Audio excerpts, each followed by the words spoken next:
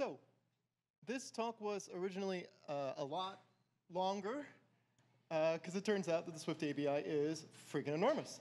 Uh, and so the title exploit really did fit at the time.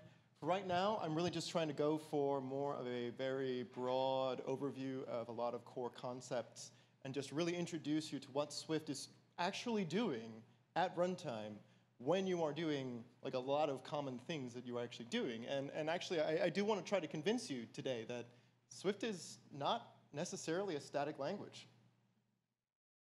So with that, we do have like a lot of information to cover still. Like we're going to try to work our way across a lot of parts of the runtime. Um, we're going to talk about a lot of fun stuff. We're going to end with like a call to arms about how we need more reflection primitives, and we need more people that are interested in reflection primitives. Um, we also, you know, have to stumble through a bunch of hairy stuff, like we have to talk a little bit about type layout and metadata uh, layout, and we have to talk about calling conventions and things like that. But it's going to be very brief. It's not going to be like, you know, I'm not going to actually go tell you how the, like, there used to be assembly in this talk. There's no more assembly in this talk. Um, but, you know, we are actually going to talk about, you know, like reflection, uh, type layouts, calling conventions, things like that. Okay, but we're also going to approach this more from a, you know, I'm a compiler engineer. Mm, we're going to approach this from a Swift user. Because each one of these topics is its own little rabbit hole, and we can jump down them for an hour and a half, but you all need to go, you know, I, I like to catch a drink with some of you later, so, you know. Uh, the, uh, there's going to be a lot of code. It's not necessarily going to be all Swift. There's no more assembly. There will still be C++, and there will be a little bit of C, but it's going to be pseudocode. So I just want to say, all the code in this talk has no semantic value. It is purely illustrative. You don't need to read it. You don't need to understand it. We are here to just get the core concepts down, and that you know pseudocode happens to be the best way to express these things. All right. So with that out of the way, let's discuss where we're going and how we're going to get there. So we're going to begin by discussing code, data, and ABI. Next, we'll dive into Swift runtime processes, including the public, public ABI, and how the compiler uses that ABI to implement the dynamic parts of Swift, uh, that'll tee into a discussion of generics. It'll be very short. Uh, we'll finish with uh, layouts of runtime metadata and how we as Swift users can take advantage of that. So we're going to start with code, data, and ABI. So evolution is a remarkably hairy subject.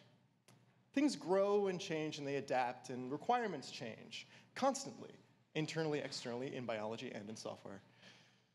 There's a large amount of value in looking backwards, though, because large systems don't evolve wholesale.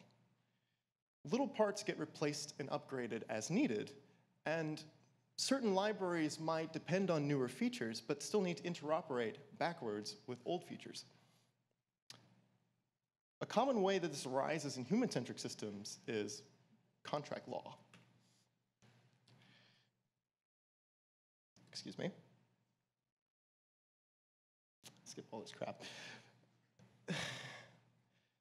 Now, this isn't a talk about contract law, don't get me wrong. We don't have nearly enough time for that. But if we step back and think about what a contract is, it's a set of terms and conditions that describes a good, a service, some kind of value to be exchanged between two parties subject to some kind of constraints like time and money and all these things. And we once again, we can find these parallels in software systems. So an ABI for us today is precisely that. It is a set of guarantees that are made to you about the format of data, which runtime entry points are available and will remain available to the end of time, calling conventions, all of that hairy stuff that you usually don't have to think about when you're passing data around. Now, this doesn't mean that Swift isn't allowed to change how those services are rendered to you in the future. And bear in mind that stability in ABI is not a universal concept. It's entirely possible, and it's a really good thing that a new platform, uh, a new architecture, a new operating system, all of these, they can receive distinct ABIs. This allows Swift the freedom to continue to evolve and spread out and do what is right and efficient on a case-by-case -case basis. Because choosing the right abstractions is, is incredibly important. A, a, case study of this is the first revision of the Objective-C uh, ABI, which, which Objective-C really didn't have versions at the time. uh, I guess it's sort of like the post-NeXT Apple slide up until like the introduction of the iPhone and then 64-bit uh, Mac. Um, and I'm sorry for all this, the, the C++ programmers in the room, you're actually still dealing with this problem today, and, and it is the fragile base class problem. So let's imagine a simplified view of an Objective-C object, and, and our simplified view is just it's going to be a block. There's a little block of storage, and it's got some, it's got all the space that we need for all of our properties, and it's got a superclass pointer. So, you know, we're, we're just going to build this chain. We're sort of going to imagine that like the, the, the, hierarchy sort of starts with, you know, our, our, our label, and it's going to go up to, the next superview like that. And so if we were to actually implement Objective-C this way, this problem actually goes away. It turns out this is not how it works. This is actually how the world works. Uh, your objects are sort of stacked, and, and the superclass's properties are nestled inside of the subclass. And so the object kind of grows from top to bottom, which is to say most derived, label first, or la labels properties the end, and uh, all the way up to uh, most generic, so NS object is somewhere at the top. And uh, library evolution really throws a wrench in this problem. And it's really not obvious at first glance, but uh, let's sort of evolve the problem. Suppose that we own the label class, and hypothetical third party, perhaps a fruit company, owns the view class. They would like to evolve their API, possibly by adding an extra property, say like a mask view. And we would like to, re, uh, to relink against their SDK without necessarily recompiling our app. Well, here's the problem. Suppose that we try to do that, well, we're going to collide, right? Because we're going to try to insert an extra property underneath the view part of the block, but the label part hasn't been recompiled to know that the view has changed. So they're essentially sharing storage, and your app breaks, and horrible things happen. And we, we think of this as sort of an innocuous change, right? Like, you should be able to add properties to frameworks. Like, this, this is like just a basic fact of life. But Objective-C then and C++ now do not guarantee binary compatibility for what you and I think of as these kinds of innocuous changes. Well, there is a solution to this, and for the visual spatial among you, the solution is, is what you were thinking of. We're just going to sort of, the runtime will take a look at all the different sizes of all the objects that are loaded, and then we'll dynamically slide uh, subclasses, uh, IVAR offsets, down below uh, where, where, they need to be and sort of line everything back up for us. Um, so all this to say, like, designing an ABI that's both flexible enough to accommodate evolution like this and also efficient is a really, really hard problem. Like it's something that very few languages have actually attempted and even fewer have succeeded.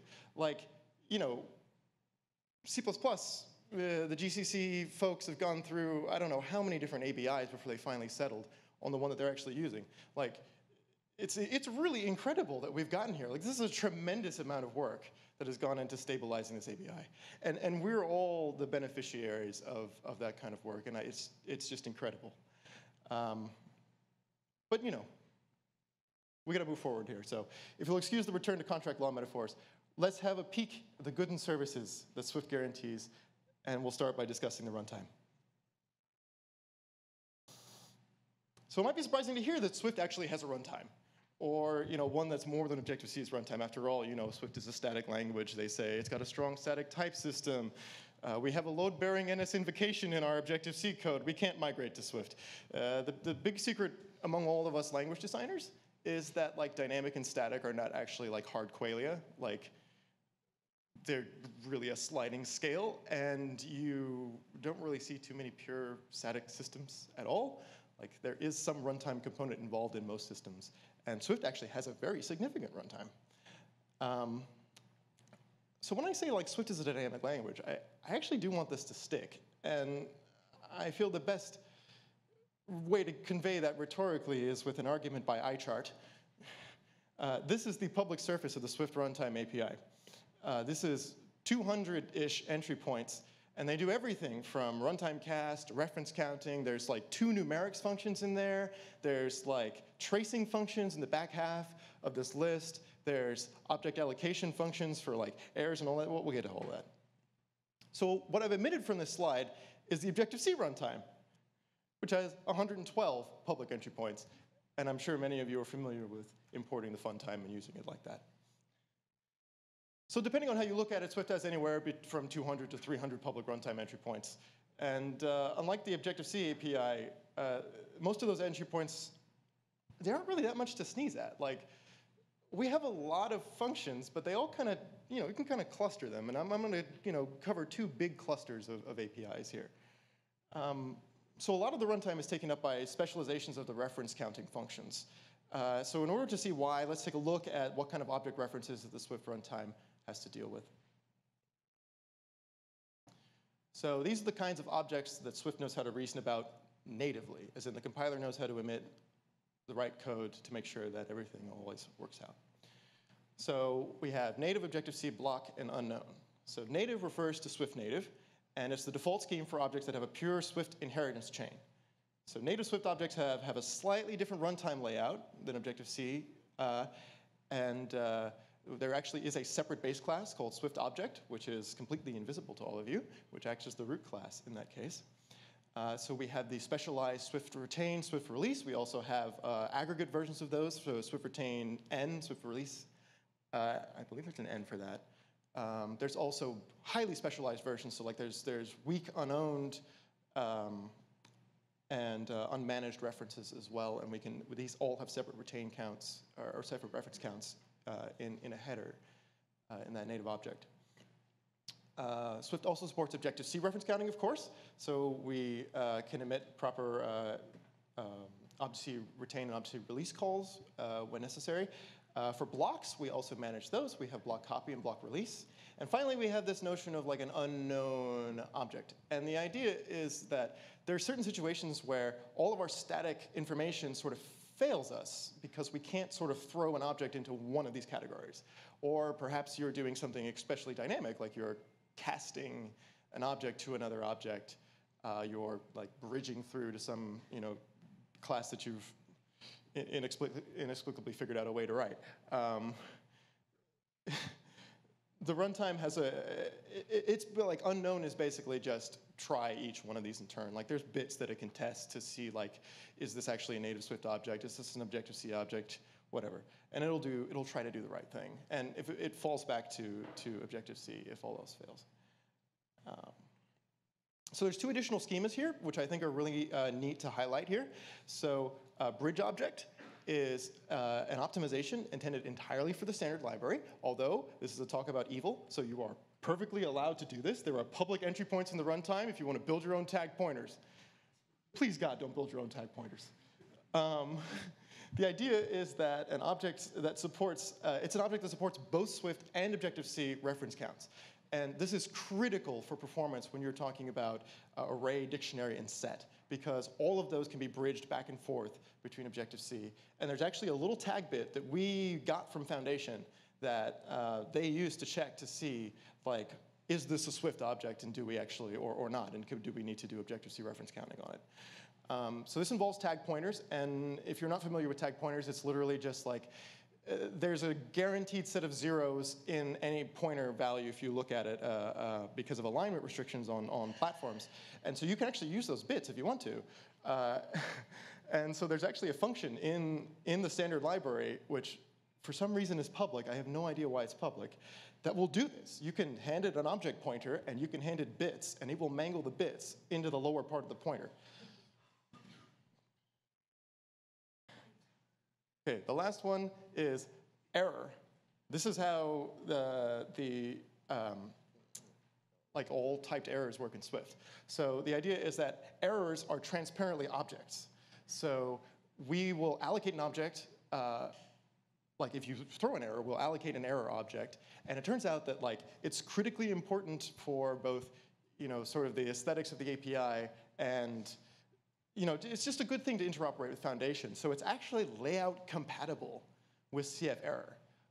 Like you can cast a CF error to a Swift error if you wanted to.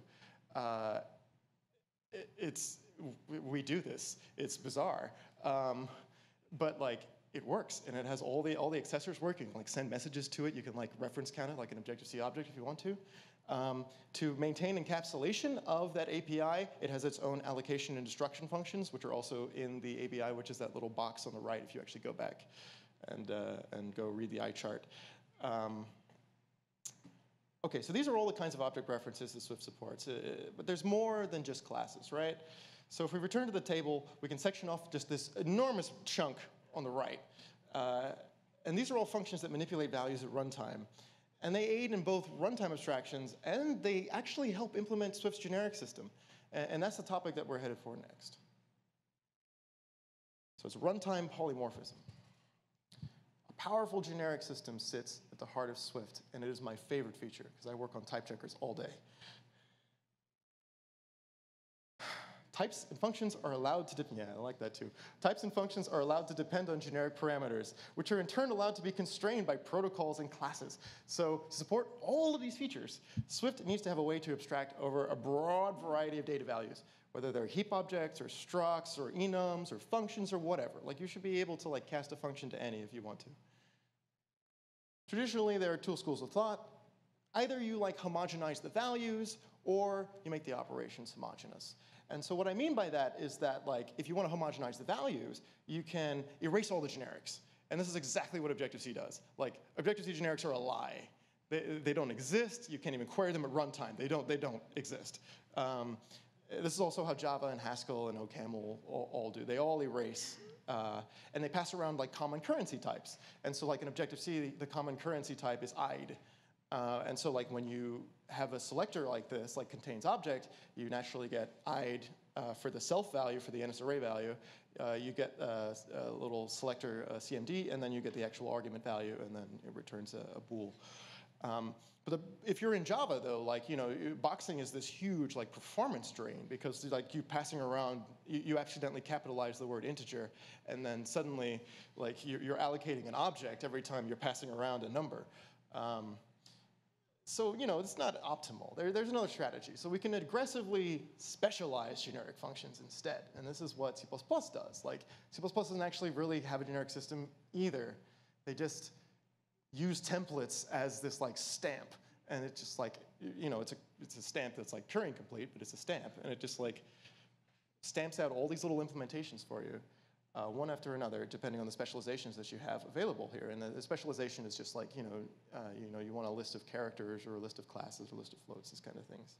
Uh, this is great for raw runtime performance because like once you specialize and you put like a float in that node or something, like compiler can go nuts. Uh, it's a problem if you're dealing with like code size because you can imagine you specialize a lot and you have to emit a new function every time. Um, there are optimizations that can fix this. Not all of them work as well as you think they do. Um, but like, you know, macros on steroids are, are you know, an approach. Uh, Rust has a sort of a, a slightly better answer to this. Uh, they do aggressively specialize as well, but it's not, it's not quite um, template instantiations. They're a little smarter. Um, so there are certainly more subtle benefits and drawbacks to all of these approaches. And it's, it's also true that neither of these approaches fully captures how Swift generic system actually works. Swift carves a third path, statically checked runtime polymorphism. In a way, Swift takes a centrist approach. Because values are represented and passed efficiently, so there's no boxing. Generic code is also unspecialized by default. So this means that we get the best of both worlds. We have a code size saving at the expense of some speed. We also get this nice sort of erasure style simple runtime polymorphism. So we literally, we do this by literally compiling generics as values. We call these archetypes. So an archetype is a runtime representation of a type, and it contains all the information you need to interact with that type. When a generic Swift function is compiled, the generic parameters, the archetypes, are passed as values. If the archetype is constrained by a protocol and other runtime structures pass as well, those are called witness tables, There was a section on those, I cut it. It's too long. We will forego all of that. There's an LLVM talk you can go watch by uh, uh, John McCall uh, and I believe Slava Pestov. Uh, it's incredible, it's up on YouTube. Um, archetype values are it's just a table of function pointers. Like it's super simple. Um, and it contains everything. Like it tells you how to copy it, tells you how to destroy it, how to initialize it. There's a special operation that we have called take, uh, where you can like knock a value out and steal its brains if you want to. Um, there's runtime entry points to dynamically construct structs and enums uh, and initialize everything, all based around manipulating these kinds of values. So here's what it, like the behind the scenes, this is what's happening. This is exactly what IDE uh, looks like if you actually go and, and, and dig out its representation. Like we will convert that parameter into, you know, it's generic, we actually don't know what size it is, we're gonna pass it as a reference. We're gonna pass the archetype as a value. That's T, it's a value, it's a pointer. And then we have this like return buffer because we, you know, we can't, we don't know how big T is either. Uh, so we're gonna also take it as a reference. And then we're going to do the obvious thing. We're going to use T's table of function pointers to implement a generic function. So there's a copy function pointer. We're going to like take x, we're going to copy it, and we're going to get a new value, and we're going to store it into the return buffer. And then we're going to destroy it. And that's it. That's how you implement IDE. So these are the required witnesses that you need, uh, and they are, like I said, there's called it's a value witness table, which is to say it's a table that is implemented by values that witnesses these operations. Um, so, you know, uh, one thing to notice about this is that none of this is actually like reflectable data, right? Like this is not the name of the class or like the field offsets or anything like that. So for that, we actually need to look more broadly at other kinds of type metadata. Um, so we're going to talk about runtime metadata. So if you go poking around the Swift project, there's this header, and it's conveniently called metadata.h. And in it are the C++ definitions that correspond directly to the runtime representations of metadata values. And this is like really neat, uh, assuming you can like stomach templates so like with a little bit of mental effort and like a whole lot of pointer math, in theory, we should be able to like read the header and translate all of this into like a super simple metadata reader. And then all we got to do is like worry about like reading a Swift file, and we just pull out these relevant sections, and you know we, we, we do all this work, and we run the reader, and then it, it breaks. It crashes. Uh, it's just not enough to do the obvious thing. And it's, there's actually a really good reason why. Uh, so to explain it, I have to tell you what happens to you know, set up a Swift process. Um, so on platforms like macOS and Linux, where ASLR, address space layout randomization, uh, is pervasive, so too is the idea of position independent code. So the idea is that like the operating system, if it were to load you at a static offset every single time, then an attacker could potentially anticipate that and start reading your memory and steal everything. So instead, the operating system can choose to relocate binaries at random addresses so that it's at least a little bit more difficult. You actually do have to go search. Um, position independent code uh, grew like actually not as a result of address space layout randomization. It's actually an idea from like the 1970s, but like uh, the idea is that it, it, it's code that's tolerant to this kind of movement.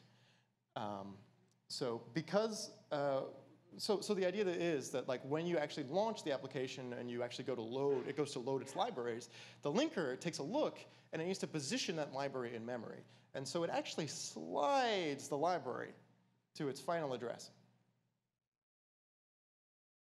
But this sliding action has an unfortunate side effect because when we slide all the pointers, all the global pointers in a framework, and there's a lot of them because we emit all this metadata, like we dirty a lot of memory in the process.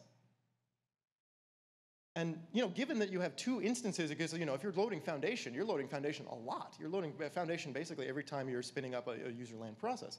Like, if that were written in Swift, like and, and we were using the scheme, like we'd be dirtying, like we, the OS couldn't like reliably share those pages. It couldn't guarantee that the memory that we've dirtied is going to be the same every single time because it doesn't know what we're doing.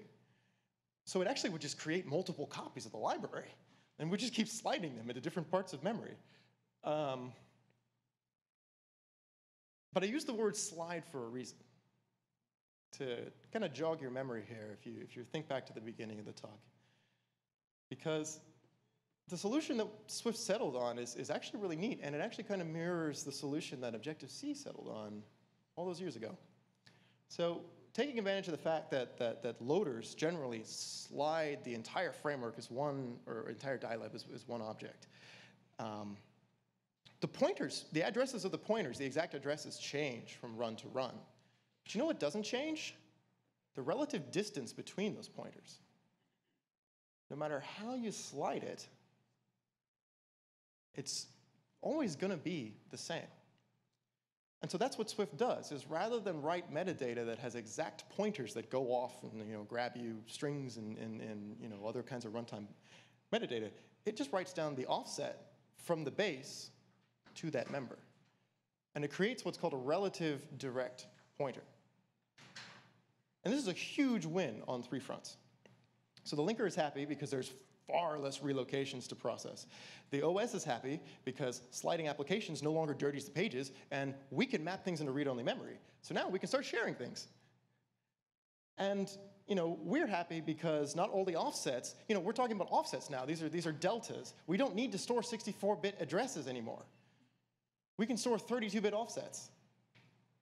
And if we, if we ever discover that we can't store 32-bit offsets, we actually do have a, a, a, variant of a relative direct pointer called a relative indirect pointer that can do far jumps if you need to go outside of two gigabytes of, of address. Um, this halves the size of runtime structures on 64-bit platforms. Super cool, for free. So this is what, this is what it looks like to implement a relative direct pointer. That's it. You, you, take a relative offset, which is some binary integer type, so int32, int16 usually. You grab the raw offset, you take a pointer to yourself, you advance by that offset, and you cast yourself to the pointee type. And lo and behold, we can start reading metadata. okay, but we still haven't answered the question, like, what metadata are we actually reading? well, following value witness tables at least for most of the types that we care about here. There's a relative pointer to what's called a context descriptor. And ultimately, the context descriptor is where all the important information resides. So context descriptor captures most anything you could ever want to know about a type. Um, so the, the leading flags uh, uh, structure describes like it, uh, it's got five bits for uh, which particular uh, context descriptor you're looking at. Uh, so you can, uh, if, if, you're actually using the C++ API, you can like cast down to the, to the precise uh, value. Um, it's got like a parent context because we encode not just like types, we encode modules. Um, and you can like get the nesting structure of a type if you need to. Uh, you can get the name of the declaration, obviously. You can get uh, what's called a field descriptor, which points into individual fields, gives you their names. You can uh, grab a field offset vector if you're dealing with classes and structs and tuples. Uh, you can, the generic parameters follow as, as trailing requirements. You can, you can grab the, the, the precise generic signature that, that a type was uh, declared with. Um, and you can, you can grab the constraints associated with that. Uh, there's also the metadata access functions if you need those because uh, it's something I, I, wish I had time to talk about. Uh, that, that's the way that we implement like associated types. Uh, you can grab all of those. We emit associated types into their own section too, so if you want their names, you can go grab them. Um, it's just right there. It's just there for you to take. And so if you thought this whole presentation wasn't leading to a sales pitch, the culmination of all of this is going to be released eventually, I hope, uh, as a suite of tools that I'm calling Swift Gestalt. Um, there's a lot of work still left to do uh, to get the library up and running. Uh, there's a lot of cleanup. And I think one of the, the good things that, that is going to come out of this is that like the, the Swift runtime interface is really not that well documented uh, today. And, and, my hope is that like, you know, we're not just going to be able to like na navel gaze at Swift programs. Like it's cool, but like, I really want people to be able to study the runtime and to actually do horrible things. uh, because if you can do horrible things, like, you know, people can do horrible things with Objective-C. I would love to see people do horrible things with Swift. And you can do horrible things today if you want to. Um, but I also want to enable tools to be written. Like, there's a lot of testing infrastructure that we could build up in Swift uh, just to make sure that the runtime is still stable. And ultimately, like, it would be really nice. Like, right now, Swift Gestalt is like pure read-only, and Swift is not built for like writing protocol descriptions into memory if you wanted to, uh, but you could. There's nothing stopping you. Uh, uh, but like, you know, one of the first things that we were able to do as like a proof of concept is like build class dump tool for Swift, and it doesn't just do classes, it does enums, it does structs, it uses all those nice con context descriptor stuff uh, that we talked about before. Um, and so that's it. Like this, this is my this is my big sales pitch. Is like I would really love all of your help when I eventually uh, do release this to the public. Uh, even if you don't like want to contribute something to this, like it would be really nice to go like jump down one of these rabbit holes and like actually help Swift out here with the documentation part because like it really needs it. Uh, so, you know, there's a lot of things I wasn't able to cover. Uh, and I would love to describe, like, you know, I, I just love talking about all these, like, the, there's like a, there's a whole spiel about how we resolve, like, cyclic metadata, uh, dynamic function replacement, protocol witnesses, witness tables, uh, metadata emission strategies, optimization type layouts. There's just all this stuff that I, that is gone. Um, but that's really the point. So I hope that this brief overview of a large amount of topics inspired you to go learn more. Swift project sources are a great place to start. The community is a great place to start uh, forums.swift.org for those that don't know. Um, there's also bugs.swift.org if you're willing to, uh, if you if you want to go pick something up today. And uh, uh, I'll be here all night, and, and I'm generally available on Twitter. So for now, I'll, I'll admonish you in the usual way. Uh, go forth, break things, and fix bugs. Thank you.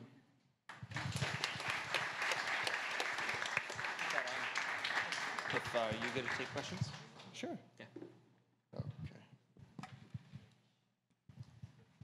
All right, uh, show of hands if you have a question. We'll take three, uh, and then Robert will be available after. That is a serious question asked in a silly way. Can you build Rails in it? Can you build? Can you build Rails in it? Um, you know what I mean? Getting metadata from a database, generating functions, getters, setters, relationships, all that kind of cool stuff you can do in Ruby with reflection.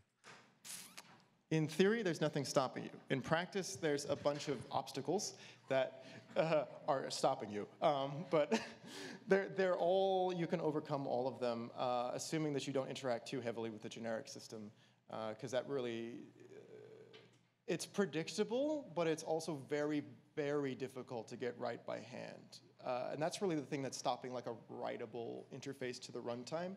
Like it's, there's already libraries, I know there are at least two, that will let you dynamically declare classes uh, in Swift. And I, they're not just using the Objective-C runtime, I don't think. Um, it's not enough though. Like, and I'm hoping that this will this will help with this because like it, you do need to like generate like you would need to generate like metadata access functions and like construct metadata in memory and like there are ways to do that but it's it's really hard to get right. It's not pretty. Yeah. but yeah, that's an evil thing that would be nice to support. All right, we have time for two more.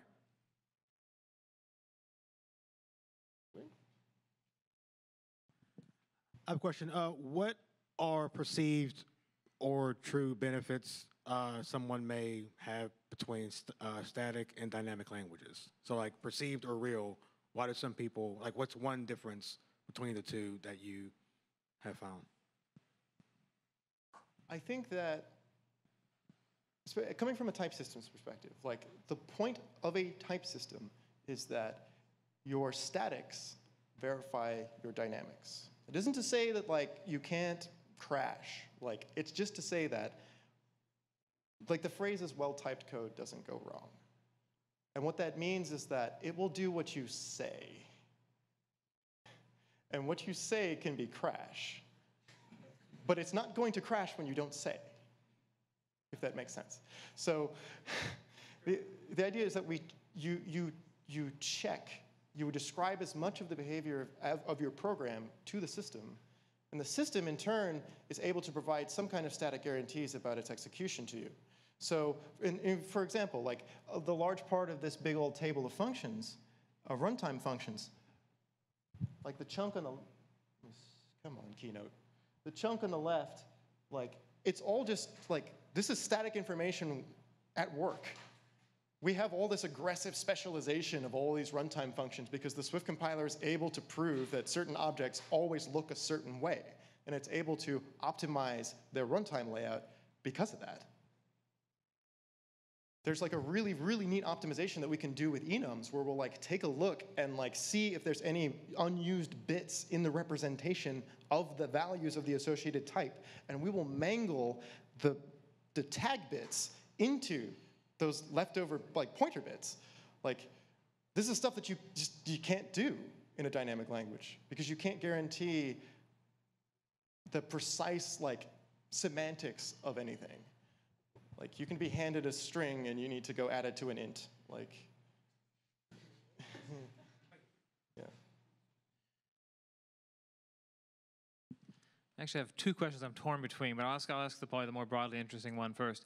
Um, I wonder if, like, in all the work you've been doing on the Swift Gestalt thing that you, that you're working on, like, uh, clearly there's a lot of potential in all of these runtime methods, and you've been spent a long time thinking about it. I'm curious, like, if you have some sort of like top of mind things that you've thought of and looking at all this as like opportunities to do things you could build on top of Swift. I mean, I don't know if like you know, uh, kind of like uh, in the way that Java has their like annotations and all that, like like the things you could add to the language in a more dynamic way.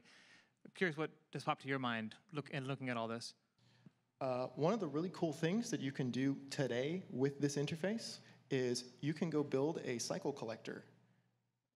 Uh, if you don't like like run like uh, what are they called Re- retain cycles, um, you can traverse metadata references and you can build a cycle collector. Like it's it's not that hard. It it's a lot of pointer math and it hurts, but it's not that hard. Um, I think that would be a really neat thing to add, like just just uh, as a kind of like you know you can opt into like TSAN and ASAN and things like that. Like we could have a cycle reporting library that you could link in uh, dynamically and just like as a little checkbox in Xcode, and it can like go run off and tell you like not just the object graph debugger. Like we can do this with Swift metadata. Um, it would also be really nice to expand the information inside of context descriptors. There's a lot of fix me's inside the context descriptor uh, definitions. Uh, if anybody's interested in adding more metadata, uh, that is always an option. Uh, certainly, there's like some impoverished interfaces like, uh, oh, I'm, I'm blanking now, but um, like I said, like you can certainly go grep the header. Uh, there's, a, there's a couple places that at least Slava has, has noted that he would like to fix. I'll do a quick follow up if I can. Sure. Okay, real quick. Sorry, real quick. Uh, just wondering if you have like, if, um, if you happen to have any particular insight into how any of this uh, runtime, these runtime entry points were used for SwiftUI in particular, and I, one feature in particular. I've, think, I think I know how they did, they did the rest of it, but one of them I cannot understand is the environment object, because apparently that's supposedly scoped to the view graph somehow magically, uh, and can't see how property wrappers would do that. Um, do you have any? Do you, do you happen to know anything about that? Because I don't think any of these are doing I that. saw on Twitter, like I think Joe Groff, or whoever said, like like yeah, there was only no like no private APIs, no magic, you know, backdoors on that. They did it with things that are publicly available, like the runtime stuff, which I imagine got to this, but I'm dying to find out. Yeah, I don't think they're doing anything particularly hairy. Um, Because the mirror type doesn't seem to have enough in it to actually like do what they're doing. Yeah, I, I actually don't know how that is implemented, Okay, um, but curious. I, I don't think it's using any of this. I, uh, there's not really anything here for that. Yeah, yeah, that's a static thing. Yeah. Well, I actually said it was on with the runtime, but yeah, like knowing which. Anyway, Oh yeah, we, no, we that- can discuss it after be- maybe. Huh. That, that might be a property of the, of the, of the view graph that they build, like they are able to uh, like use associated object uh, graphs maybe, I don't know. That might be a way to do it. Well, when, once we can use Swift Gestalt uh, class dump, we might be able to figure out how that's done. I, that is actually another horrible thing that you can do today. There's, there's a thing called a TAPI, um, that LLVM, it's an LLVM tool that's just used uh, to generate, have you seen the TBD files that ship with, with the SDK? Like instead of frameworks, like you get like a like appkit.tbd. If you actually go open the thing, it's literally just a text file and it's just full of symbols, and there's not there's boring. Um, but like it's super important that that actually maps to something real. Uh, like you can, in theory, you could replace TAPI uh, just using like this. Okay, let's give it up for Robert.